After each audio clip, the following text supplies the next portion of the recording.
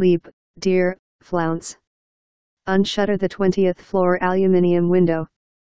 And spring into air waving aboriginal hemicloth. Uncoil forward plumes would float on pounce. Dance feet minuet in a pulsating show. Hurl and alight aglow. Clutch the torso of the wind and feel the way it fondles your twiddled keel. Dismantle at my feet.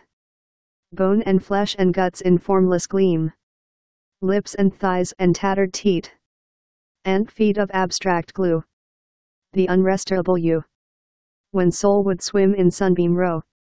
Since the incurred fall was just untrue. Translation of the Bengali poem Shudo Chetanar Rahasya written in 1986.